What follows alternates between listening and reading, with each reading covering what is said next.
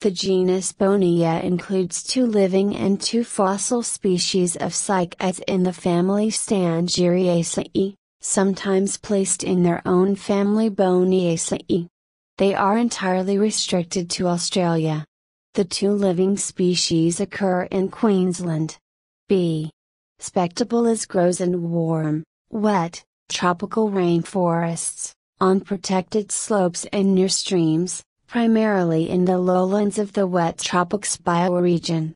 However it has a local form with serrate pinna margins that grows in rainforest, acacia-dominated transition forest and also casuarina-dominated sclerophyll forest on the Atherton tableland, where it is subject to periodic bushfire. B. Serrulata grows in sclerophyll forest and transition forest close to the Tropic of Capricorn. The fossil species Bowenia eocenica is known from deposits in a coal mine in Victoria, Australia, and B.